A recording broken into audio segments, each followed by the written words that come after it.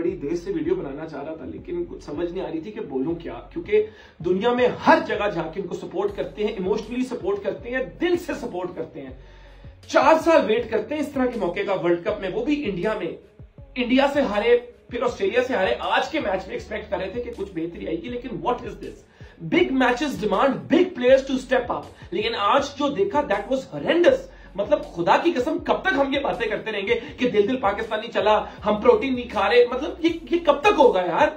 Honestly यहाँ पे pressure pressure की जी सेवन ज़ीरो का रिकॉर्ड है, आज अफ़गानिस्तान ने रिकॉर्ड तोड़ दिया है। उन पे प्रेशर था ना, इधर हमारा ब्लड प्रेशर ज़्यादा हो गया है। बाबर वी लव यू मान करो वीडियो क्या क्या तुम्हें और रिकॉर्ड करके दूँगा? यहाँ पाकिस्तान का सेमीफाइनल में क्वालिफाई करना काफ़ी मुश्किल दिख रहा है।